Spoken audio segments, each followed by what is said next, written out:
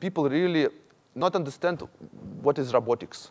Usually when people say robots, they, they look humanoid, who moving, like, for example, the guys who discussed before, they all think about robots like human uh, who doing something.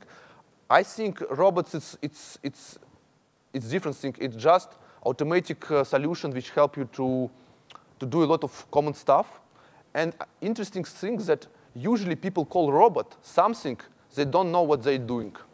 So if, if they don't know what the device is doing, they call it robot.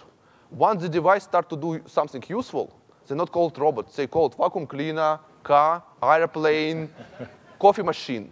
And you know, a lot of stuff which right now we use as, as on a regular basis, 20 years ago, people call robot. For example, coffee machine definitely will be recognized as, as robot 20 years ago. The robot vacuum cleaner and window washer and the Terminator, um, so where will we see the beginning of humanoid uh, uh, robots. You, you know, I, I, really, I really don't like the humans. I think the more you say humanoid robots, the less you, you, you far from business. In terms of business perspective, ask the question, why you need robot look like humanoid?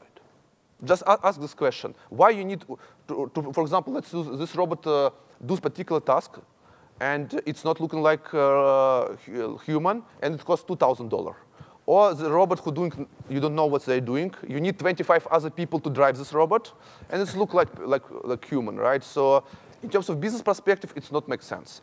If talking about labor, I think definitely it will make sense, uh, and robots will be more and more replace people.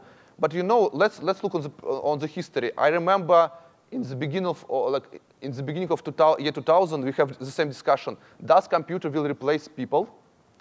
And we have a lot of discussions that yes, computer, a lot of people will lose the job because of computers. But you know, people found new ways. They, they use, uh, learn new, new tasks, new, new how to features.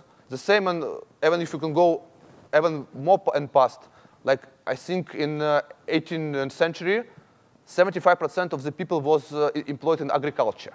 Now only 2% definitely uh, it will be some kind of uh, job places will be in danger short term. But we see that human beings very quickly adapt. So re remember this discussion about personal computers. A lot of people saying we will lose the job because of PC. Now they're learning how to use it, technology involved. So I think short term it will be a problem, but long term people will be adapt and will be more focused on tasks related to more, how to say, creative work and less repeatable work. And people, you know, people don't like to do repeatable work. If you stay every day and open and close the, the door, you became tired, you want some more exciting stuff. So definitely robots should do repeatable work.